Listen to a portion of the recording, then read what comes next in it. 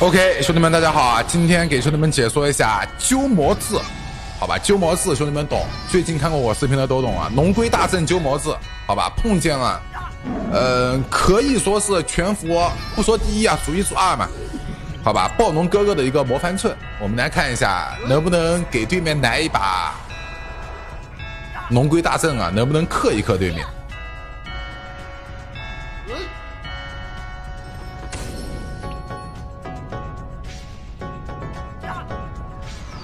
关键盘的话，零四要抢一下这个一速，对面的法系硬件好嘛，能够拿到一速也是很正常。啊，十六段的黑宝石，十六段的腰带鞋，关键盘一把零子抢回了一个一速。看一下鸠摩智这边的话飞，对面的话是出了一把青色。OK，感觉这个鸠摩智的话，碰见这种硬实力的选手，感觉有点打不太动啊，兄弟们。就平常那种法系碰见鸠摩智头痛，就头是真的痛啊。比赛的话，第七回合，棺材板得小心一点啊！第四回合对面是真给你出力听啊，对面这个时候不出宝宝了呀，留了一个宝宝位置，可能是要出力听啊。棺材帆的话出龙龟了，准备要摆阵法了。棺材帆单头新宝宝，看一下棺材帆下一回合的话要不要换一个引弓？棺材帆的话直接把对面点倒，不过也没有关系。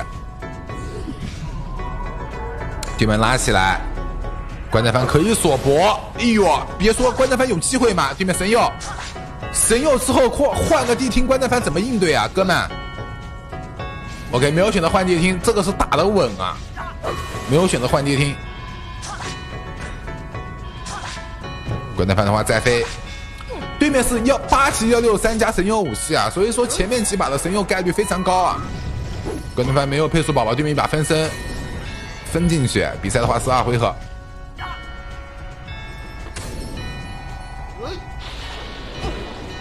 电宝宝电六千，电人物电四千。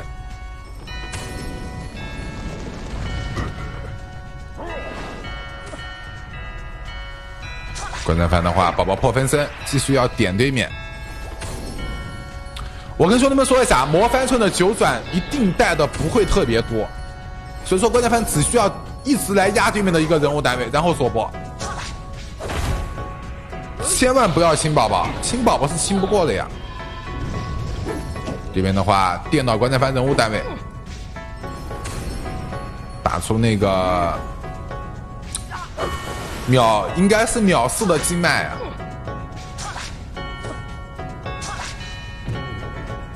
这一把电的话应该很痛啊！对面的话选择先先分身，打的也是蛮稳。宝宝的话没有选择破分身，这边有单头没有选择破分身啊，选择还是要清宝宝。宝宝的话有神，那这一把的话血亏，兄弟们血亏。他为什么一定要清右边这个这个童子呢？